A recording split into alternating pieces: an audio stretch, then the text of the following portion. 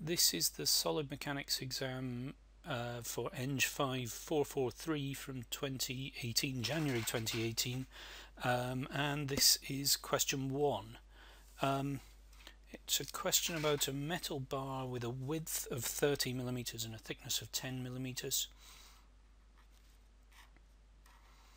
Um, it doesn't really matter which of those is which, but 30 millimeters is 0.03 meters 10 millimeters is 0.01 meters. So that's our cross section. And the bar itself has some forces acting on it. Um, there's a force here of 12 kilonewtons. There's two forces here of 9 kilonewtons. There's two forces here of 4 kilonewtons and there's one force here of 22 kilonewtons. Um, so forces to the left is 12 plus 9 plus 9 is 30. Forces to the right is 22 plus 4 plus 4 is 30. So that's okay. The whole thing's in equilibrium. It says determine the maximum normal stress in the bar. Um, to do that what I'm going to do is just do method of sections on the bar and I'll think about three regions. Um, region 1 region 2 and region 3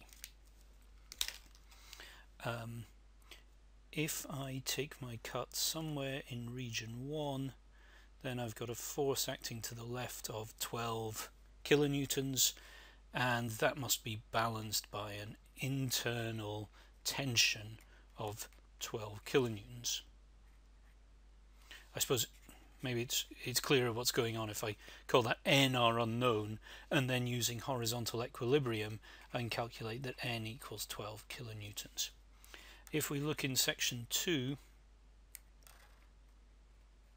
which is somewhere to the right of these two 9 kilonewton forces uh, then we've got some internal tension N and by um, horizontal equilibrium N equals 12 plus 9 plus 9 which equals 30 kilonewtons.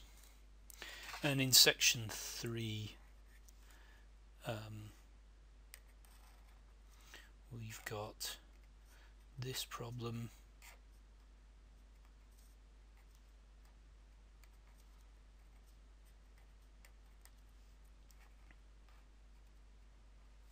and using horizontal equilibrium n plus 4 plus 4 equals 12 plus 9 plus 9 so n equals 22 kilonewtons. The normal force within the bar there equals 22 kilonewtons. And that's good because that will be exactly balanced. The tension in the bar will be balanced by the 22 kilonewtons on the right hand edge. So that all kind of adds up. And so the maximum tensile force is well it's just the largest of these so it's 30 kilonewtons. Um, and then the maximum normal stress will be caused by that maximum tensile force is um, sigma equals force divided by area which equals 30 kilonewtons divided by the area of that rectangle. Um, and I can put all of that into a calculator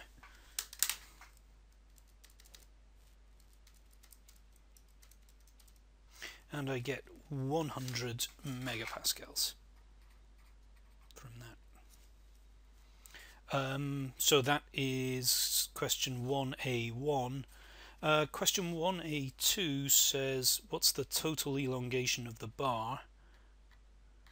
Um, you just need to play around here with your definitions of stress and strain. Epsilon equals delta x over x, so therefore delta x, the extension of any particular part of the bar, is the strain times the original length.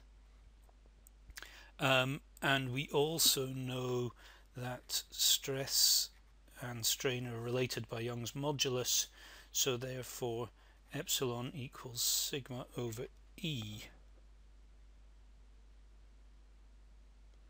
Now this is interesting because we're not given any Young's modulus in the question. Um, well let's just think about one individual section of the bar see how we get on. The leftmost section is experiencing um, 12 kilonewtons tension and so stress is force over area equals um, 12,000 divided by 0.03 0.01 and that's going to be 40 megapascals um, my feeling is I can't turn that into a, an extension or an elongation unless I've misread the question without some information about what kind of metal this is or what Young's modulus I could assume. Um, let's assume um, for the time being E equals 200 gigapascals. Um, that'll do for steel or something similar. Um, so then we can say, well, epsilon equals sigma over E equals 40 over 200, 40 times 10 to the 6 over 200 times 10 to the 9, which equals 2 times 10 to the minus 4. Um, and then delta x equals um, epsilon x, which equals 2 times 10 to the minus 4 times uh, the original length, which is 100 millimeters or 0.1 meters, 2 times 10 to the minus 5 meters. So that's in section 1. In section 2, we know sigma equals 100 megapascals. That was what we calculated in the first part of the question. Um, and then that means that um, epsilon equals 100 times 10 to the 6 divided by 200 times 10 to the 9 and that is uh, 5 times 10 to the minus 4. Delta x is epsilon x is um, 5 times 10 to the minus 4 times 0.1 which equals 5 times 10 to the minus 5 meters. And quickly running through section 3 sigma equals force over area equals well we said the force is 22,000 newtons. That was in part A we calculated it. Um, and area is still 0.03 times 0.01 which gives us a stress of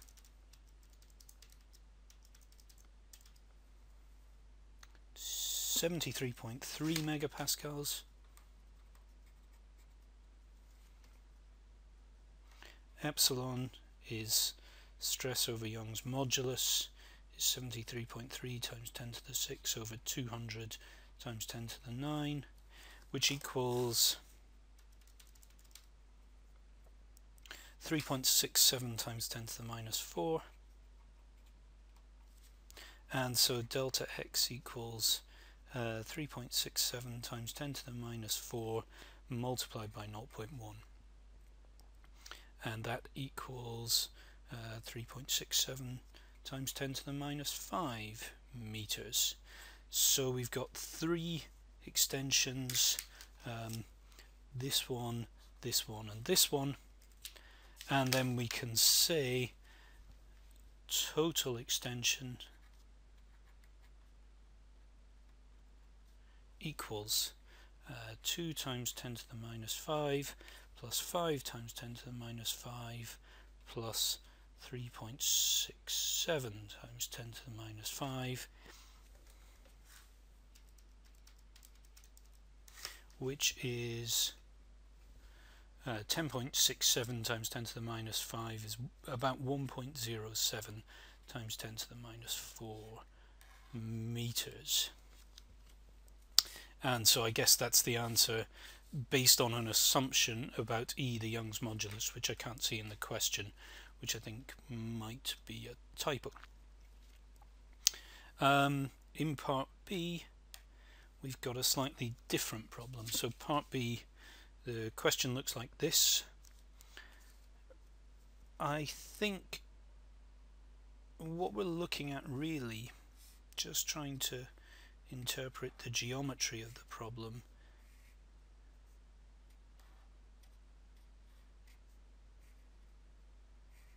something like that. We're looking at a kind of cross section. Uh, this is 18 millimeters, 12 millimeters, 18 millimeters, and this is steel, aluminium, aluminium, and this length here is 48 millimeters. Um, that's what we're given, and we're told uh, E for steel equals 200 gigapascals. E for aluminium equals 70 gigapascals. The thermal expansion coefficient alpha for steel is 11.5 times 10 to the minus 6 um, per Kelvin.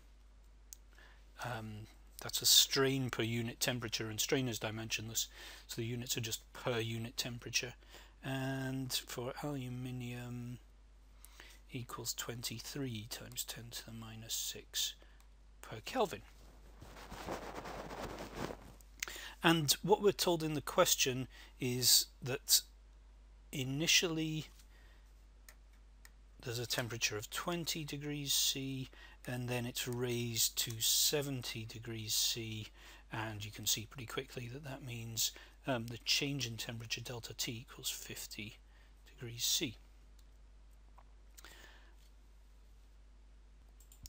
In these kinds of questions we want to set up um, two different conditions. The first is um, some kind of force equilibrium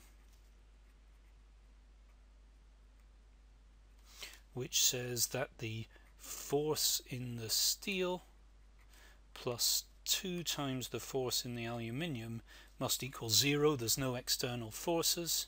And the second is compatibility. The uh, steel and the aluminium are stuck together, so the strain in the steel must equal the strain in the aluminium. Um, remember that strain now is made up of a thermal component and a mechanical component.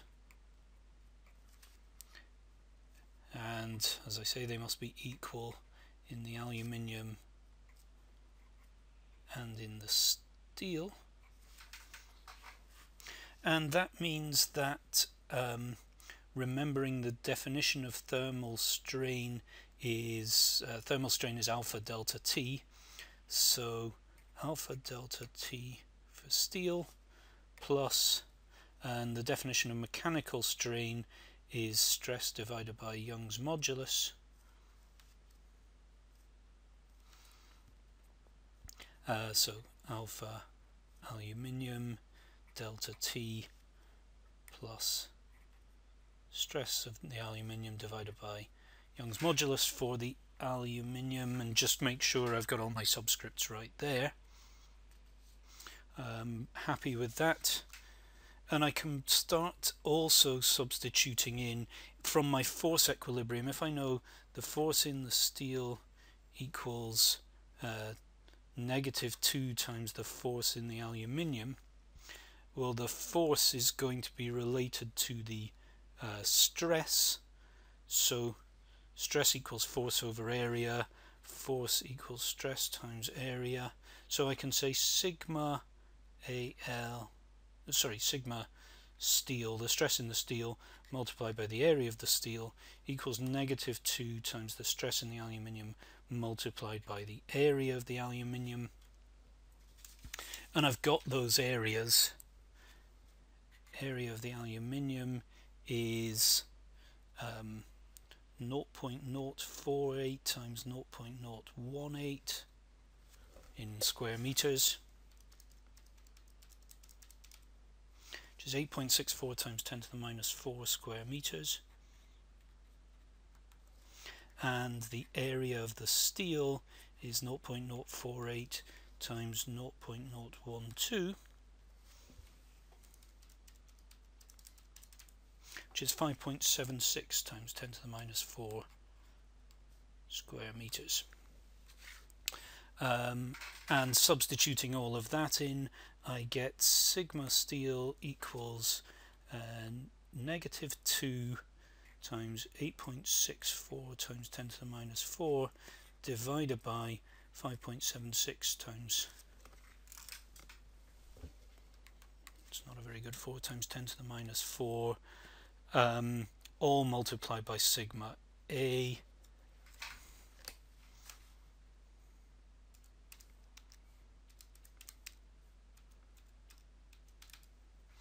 which is minus 3 sigma a. Um,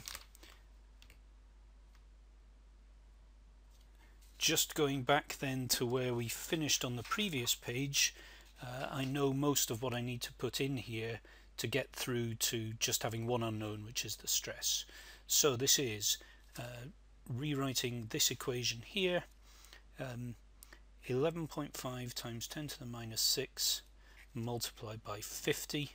50 is the temperature change, sorry, I'll just move that into shot, 50 there, um, plus sigma s over Young's modulus, which is 200 times 10 to the 9, equals uh, alpha for aluminium, 23 times 10 to the minus 6, plus sigma A over um, Young's modulus for aluminium, which is 70 times 10 to the 9.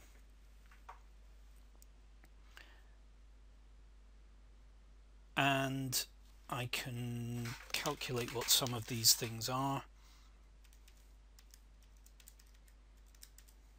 That's 5.75 times 10 to the minus 4 plus sigma s over 200 times 10 to the 9. Um, is it better to work out the stress in the aluminium? Well, I know I can substitute sigma s for, sig for minus 3 sigma a um, so I'll do it that way. That should have had a 50 in there.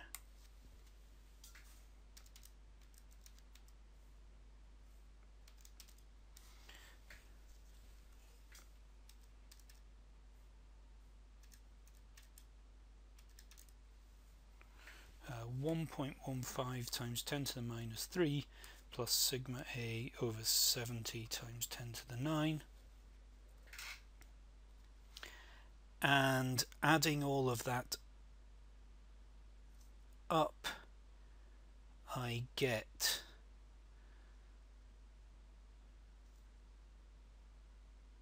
sigma a multiplied by 1 over 70 times 10 to the 9 plus 3 over 200 times 10 to the 9 so I've moved that over to that side equals 5.75 times 10 to the minus 4 minus 1.15 times 10 to the minus 3 and now I need to just do calculator work to find sigma a.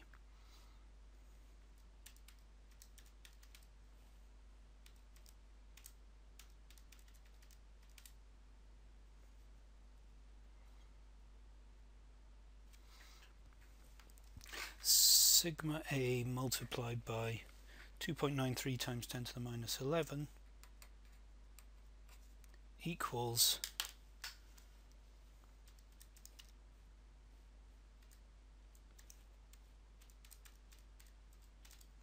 minus 5.75 times 10 to the minus 4. Sigma A equals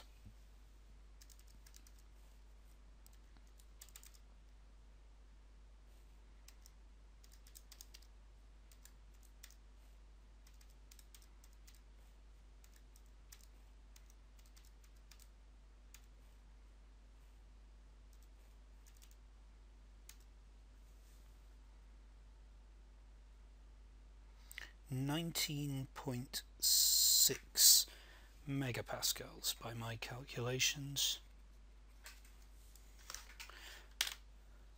Um, that wasn't what we were that's only half of what we were asked for we were asked for um, the stress in each bar so 19.6 megapascals in the aluminium but we also know that sigma s equals minus 3 sigma a equals um, 58.9